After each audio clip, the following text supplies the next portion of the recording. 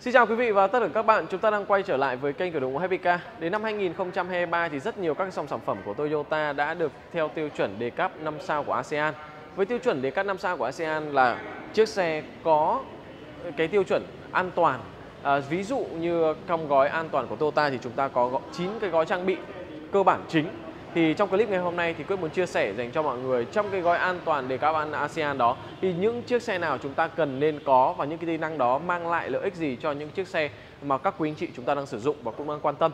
Ở đây thì trong showroom này hôm nay thì cả năm chiếc xe như Cross, Fiat, Fortuner, uh, Veloz hay là Antis đều có mặt tại đây, đều có tiêu chuẩn 5, 5, 5 sao của ASEAN và Quyết sẽ chia sẻ những cái tính năng đó dành cho các quý anh chị. Và trước khi clip bắt đầu thì cả nhà cũng đừng quên rằng ấn giúp Quyết đăng ký kênh của đội ngũ Happy Car và nút chuông bên cạnh cả nhà nha. Đầu tiên thì chúng ta sẽ nói tới ờ, trong gói an toàn của Toyota và cơ bản nhất đó chính là có hệ thống an toàn ABS. Hệ thống ờ, chống bó cứng phanh ABS thì mọi người có thể nhìn thấy ở trên đây thì cái bộ chia dầu phanh của ABS ấy, nó sẽ tính toán dành cho các quý anh chị khi mà chúng ta đang đi trên đường mà gặp một chứng ngại vật ấy, mà một người muốn đánh lái. Đó. thế thì hệ thống này bây giờ đang có ở trên cả những cái dòng xe xe máy rồi đúng không? Thì khi mọi người đánh lái thì thông thường thì cái vô lăng của chúng ta ấy, khi phanh nó sẽ bị bó cứng lại. Nguyên nhân là do cái hệ thống phanh ấy, ở các má phanh đây. Đó khi mọi người phanh thì các cái má phanh này nó sẽ bó chặt vào cái đĩa phanh như thế này. Đó gây ra tình trạng là chúng ta sẽ không thể đánh lái được. Thì hệ thống ABS sẽ làm gì ạ? Sẽ hệ thống sẽ nhấp nhả liên tục các cái má phanh như thế này để giúp cho các quý anh chị chúng ta khi mà đi vừa đánh lái vừa có thể chuyển hướng được mà giúp cho mọi người có thể an toàn hơn. Đây là một trong những lý do mà tại sao mà mọi người thể để ý rằng là khi mà đi xe máy á, thì chúng ta rất dễ bị xòe khi mà chúng ta vừa đánh lái xong thứ phanh cái thì cực kỳ dễ ngã. Thế thì hệ thống này sẽ hoạt động ở cái giải tốc độ đó chính là trên 10 km thì hệ thống sẽ có tác dụng mọi người nha. nên mọi người lưu ý giúp quyết và khi mà chúng ta phanh ấy, thì cái phát hiện ra tiếng kêu nghĩa là ở cái phần bàn đạp phanh ấy, mọi người sẽ có một tiếng rung nhẹ, một tiếng kêu nhẹ. Đó, thế thì chúng ta sẽ phát hiện ra và cũng như là cái đèn ABS sẽ nhấp nháy sáng liên tục. Đó, đây là biểu hiện của việc mà đèn ABS, hệ thống ABS hỗ trợ lực phanh khẩn cấp. À xin lỗi mọi người là hệ thống um, chống bó cứng phanh sẽ có kích hoạt và có tác dụng.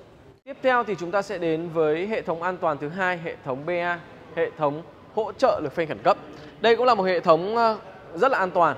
Bản thân là khi mà các quý anh chị mà chúng ta đi ở trên đường á, chúng ta sẽ gặp một chướng ngại vật. Và sau đó thì chúng ta giật mình, chúng ta phanh. Thế thì khi mà chúng ta ấn lực phanh, đạp phanh á, mà không đủ, thì hệ thống sẽ tự động tính toán rằng là à phải tác dụng thêm một lực phanh nữa để rút ngắn cái quãng đường từ chiếc xe của mình tới chiếc xe ở phía trước một cách an toàn nhất. Điều đấy cũng mang lại khả năng an toàn. Thế thì à, vì quý anh chị mà chúng ta có những cái tính năng như thế này để mọi người cũng có thể an toàn hơn khi mà chúng ta đi trên đường cao tốc hoặc là bất chợt tiện có một chiếc xe cắt ngang qua. Đó đây là hệ thống BA mọi người nhá. Và thứ ba đó chính là hệ thống VSC một trong những cái hệ thống mà các quý anh chị mà chúng ta rất quan tâm. À, trước năm 2016 thì chiếc xe Toyota Fortuner ấy, có mặt ở trên đây. Thì ờ, không có hệ thống VSC gọi là hệ thống cân bằng điện tử. Thế thì hệ thống khi mà không có hệ thống cân bằng điện tử một chiếc xe gầm cao như thế này với cái khung gầm là uh, khoảng sáng gầm xe là 278 mm đúng không ạ? Mà đi ở trên đường cao tốc mà mọi người cứ hình dung vào góc cua mà chúng ta phanh một cái thì chuyện gì xảy ra rất dễ lật. Chính vì vậy là Fortuner trước năm 2016 hay còn gọi cái mệnh danh là thánh lật là như vậy. Nhưng kể từ khi mà chiếc xe này có hệ thống VSC đi kèm thì hệ thống sẽ hỗ trợ khi mà chúng ta đi ở trên đường cao tốc ở trên các cùng gấp cua đó, hệ thống sẽ tự tính toán rằng là phanh nhấp nhả các cái bánh xe à, bốn bánh xe để xem xem là cái bánh xe nào khi chúng ta vào cua nó bị trượt ngang thì xe sẽ dùng lực phanh lớn hơn để giữ chiếc xe lại và cũng như giảm, tự động giảm cái công suất động cơ đi. Tại vì khi mà chúng ta đi vào góc cua chúng ta hay có thói quen là vẫn giữ chân ga như vậy, nó rất là nguy hiểm và xe sẽ tự động giảm công suất lại để giúp cho chiếc xe an toàn hơn. Thì đây chính năng vì sao mà từ kể từ bây giờ mọi người thấy rất ít những cái dòng sản phẩm Fortuner mà bị lật đúng không ạ? Đó, đấy là lý do tại Quyết có thể giải thích cho mọi người đính chính là tính năng VSC đó, cân bằng điện tử. À, ngoài ra thì chúng ta còn có thêm một cái tính năng nữa ở trên dòng sản phẩm Fortuner hay là dòng sản phẩm Vios đó chính là EBD. À, tính năng này đó chính là hệ thống phân phối lực phanh điện tử. Hệ thống phân phối lực phanh điện tử ấy, thì giúp khi mà mọi người ngồi ở trên xe không được cân bằng. Cứ lấy có thể lấy ví dụ như chúng ta có bốn người ở trên xe thì cái trọng tải nếu mà chúng ta ngồi bốn người chắc chắn là không đồng đều đúng không ạ? Có thể gia đình phía trước uh, trẻ nhỏ ngồi đằng sau chẳng hạn thì uh, xe sẽ dồn ở phía đằng trước nhiều hơn. Thế thì hệ thống cân bằng lực phanh điện tử này sẽ cân bằng uh, tải trọng của chiếc xe để khi nào nếu mà ở đằng sau hay đằng trước có trọng tải lớn hơn thì họ sẽ dùng cái hệ thống phanh sẽ tự tính toán là dùng lực phanh nhiều hơn đó để giúp chiếc xe nó cân bằng hơn khi mà chúng ta phanh đó và cũng điều đó cũng rút ngắn được cái quãng đường phanh đó trở nên là an toàn hơn khi mọi người đi trên đường à, với hệ thống EBD cũng là một hệ thống mà cơ bản ở trên à, điều khoản thứ tư cái điều thứ tư mà một quyết muốn chia sẻ cho mọi người. Và cuối cùng đây đó chính là hệ thống TRC hệ thống mà rất quan trọng khi mà chúng ta đi ở trên các đường đường trơn trượt. Hệ thống TRC là hệ thống kiểm soát lực kéo. À, với những quý anh chị mà chúng ta à, mọi người có thể nhìn thấy chiếc xe Toyota Cross là chiếc xe mà được dẫn động cầu trước. Hệ thống dẫn động cầu trước như vậy thì à, với hệ thống TRC kiểm soát lực kéo sẽ làm gì ạ? Khi mọi người đi ở trên các cung đường trơn trượt chúng ta bắt đầu khởi hành chẳng hạn trời mưa. Nếu mọi người đạp ga gấp thì sao chuyện gì xảy ra? Thì rõ ràng là cái hệ thống bánh này sẽ bị trượt đúng không ạ? Trượt ngang hoặc là sẽ không bám được vào đường.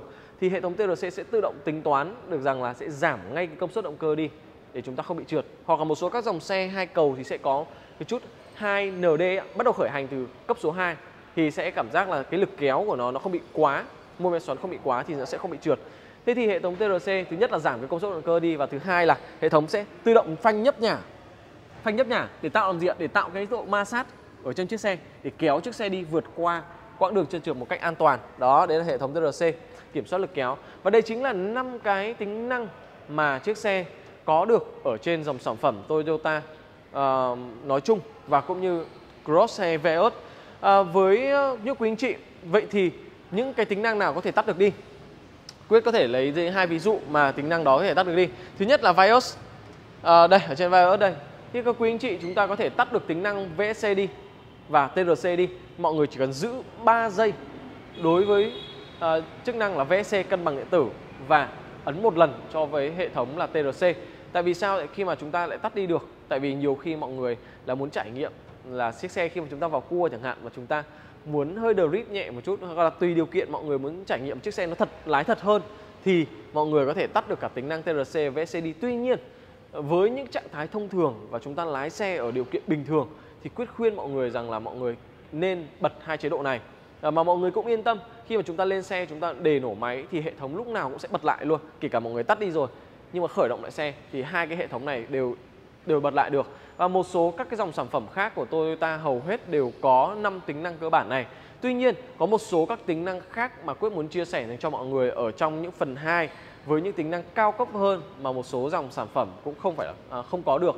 Thì đó là gì? Thì mọi người hãy đón chờ ở trong à, clip tiếp theo ở phần 2 này mọi người nha. Và nếu quý anh chị chúng ta thích clip video này thì mọi người đừng quên rằng ấn giúp Quyết nơi đăng ký kênh của đội ngũ Happy Car hy vọng rằng những cái thông tin mà Quyết muốn chia sẻ dành cho mọi người khi mà chúng ta uh, chuẩn bị mua xe hoặc là chúng ta lấy xe rồi chúng ta cũng hiểu hơn về những tính năng an toàn mà của Toyota mang lại dành cho các quý anh chị.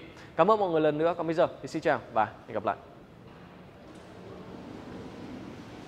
Bạn đang muốn định giá xe cũ của mình hoặc mua bán xe đã qua sử dụng Happy Car sẽ hỗ trợ dành cho tất cả mọi người. Định giá xe cũ uy tín nhất, chất lượng nhất.